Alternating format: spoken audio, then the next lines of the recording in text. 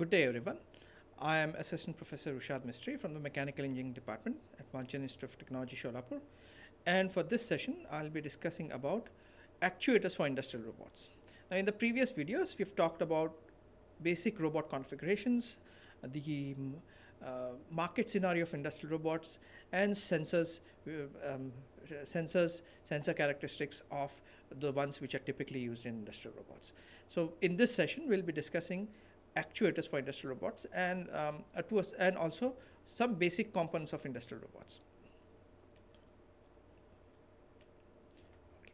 So the learning outcomes of this session will be that the student will be able to list components of industrial robots and explain basic features of the actuators used in industrial robots, which are basically hydraulic, pneumatic, and electric.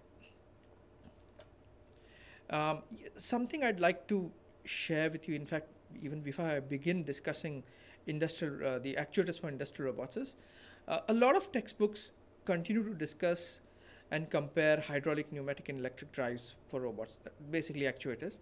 And th there's nothing wrong about it. A lot of in uh, textbooks, uh, any textbook which deals with actuators will compare these three. Uh, a fourth one obviously could be some uh, mechanical actuators or mechanical drives, but these three are invariably compared. Now, if you actually do a survey of the top 15 manufacturers of industrial robots, which I believe would definitely account for more than 99% of the industrial robot market. Most cases, the drives are AC servo motors. Okay, so I don't have an exact number, but I'm pretty sure it, it will be in the 80s or the 90s by far. Uh, a handful of applications we did come across DC servos, and these were some SCARA ro uh, robots, some Delta robots, and some robots typically in the low uh, payload section, under 10 kg payload, we did come across some DC servos. Um, a couple of examples of stepper motors were also observed. Uh, uh, those models typically were meant for medical tasks. Uh, most of them were Cartesian and a couple of um, um, uh, uh, jointed arm configurations. So it's we, we, didn't come across other other types of drives and definitely not pneumatic drives in any of the survey that we did. It's possible that um, third party um, uh, you can say um, retrofit companies may have come up with their own design uh, which may use some sort of a pneumatic arrangement. But if it's used it's probably for some very basic pick and place task. Okay. now coming back to our core uh, discussion which is about robot actuators so an actuator basically converts input energy typically into mechanical. The final uh, aspect we are looking at is the output being mechanical. So these are often called as the muscles of the manipulator. Now these may be revolute or prismatic depending upon the configuration of the robot. And the most popular choices are electric, pneumatic, hydraulic, shape memory alloys, and so on. These three obviously by far would be most popular. Amongst this, electric drives are by far the most popular. Sometimes you may have what is called as a direct or indirect configuration if the motor is driving the joint through a linkage or through a transmission. So this is another uh, nomenclature that we have added over here. Sometimes if, if the torque is sufficient, the motor may have a direct drive. Now there are pros and cons to both and textbooks on robots um, discuss about the advantages of using of direct drive and also of using gears for speed reduction. So that, that we won't be discussing as a part of this particular series, but it, it does come into picture once we start studying about robot control. Now, uh, coming back to robot actuators, uh, revolute driver actuator is a motor typically. So when energy is supplied, the motor axis responds in rotary motion. Gears may be used to meet speed and torque requirements, but in many cases, they prefer a direct drive. Load attachment to the arm, attached to the arm is typically then rotated about its axis. Now, hydraulic actuators, uh, very typically linear rotary actuators and rams, they provide force or torque needed to move the joints and they are typically controlled by servo valves, um, servo controlled valves. Now, a hydraulic pump okay, is used to provide high pressure to the system and an electric motor or even an IC engine may drive the pump and you need some sort of cooling system to get rid of the heat for it. So this is a basic, you can say, composition of the hydraulic system. You need reservoirs to keep the fluid supply available to the system at all times. You need servo valves, which are very sensitive, and they control the amount and rate which of the fluid which enters the cylinder. Uh, and it's servo valve is typically driven by what is called as a hydraulic servo motor. Sensors are necessary to control the motion of the cylinders. These are typically position, velocity, and others. Then you need connecting hoses to transport the pressurized fluid. You need all the safety check valves, etc., etc. So it's quite a bit of a contraption over here. Now, uh, drives do have advantages, and let me tell you some of the very first industrial robots which were built. They featured hydraulic drives, and uh, if you look up any literature on industrial robots which date back to the 80s and 90s, the general argument which goes in favor of hydraulic drives is these were the most preferred drives when it came to heavy duty tasks. Typically when the payload exceeded um, 100 200 kgs. And um, uh, especially uh, if, if these were painting robots because that time since dc motors were quite popular uh, the possibility of spark due to brushes was a was an explosion hazard. So that's how the literature in fact portrays hydraulic drives I am not sure how far that is consistent today, given the wide use of electric motors in a lot of applications which in the past would have featured hydraulic drives. But nevertheless, the ad advantages of hydraulic drives are these maintain high uh, and constant torque force over a wide range of speed. They definitely have a high starting torque, very large force capacity, large power to weight ratios, um, good precision uh, definitely not as compared to electric, but better than pneumatic because greater bulk modulus of the oil and can maintain large forces over longer periods.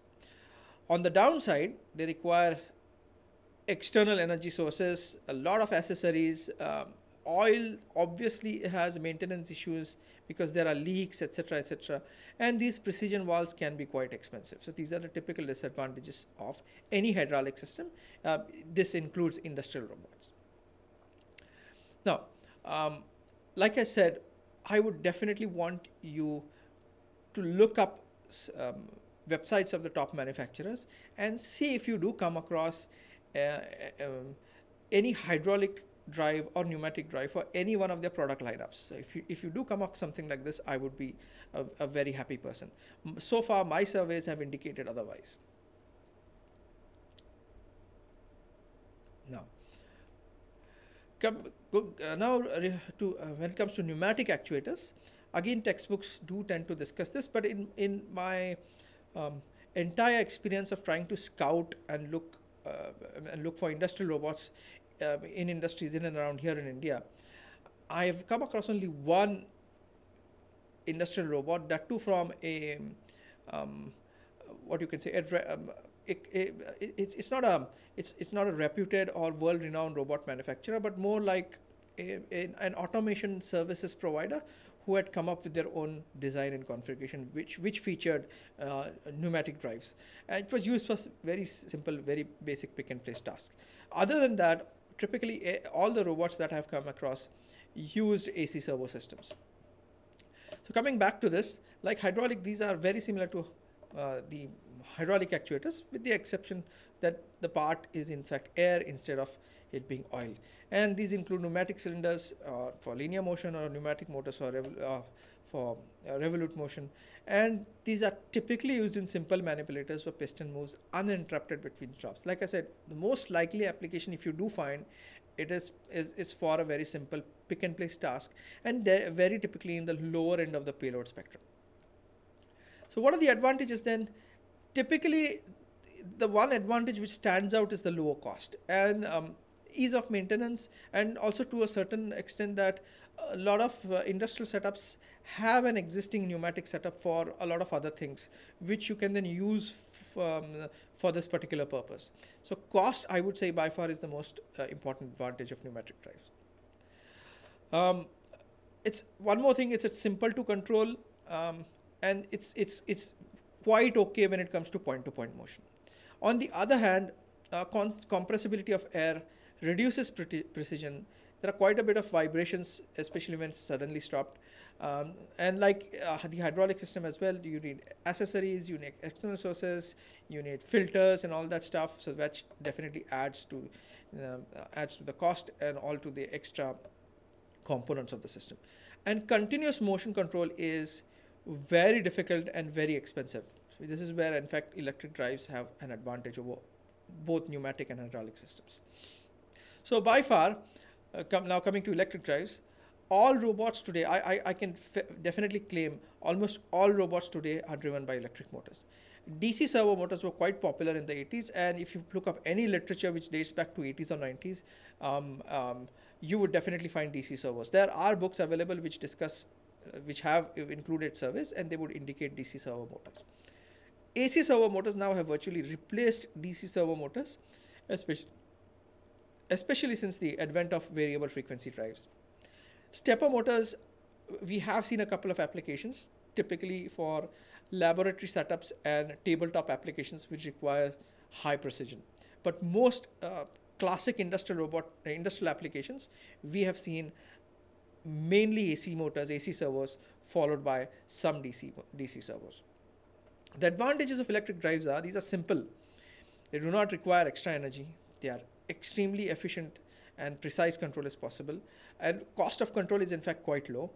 And with the advent of high torque motors, in fact, they have started replacing hydraulics in many applications.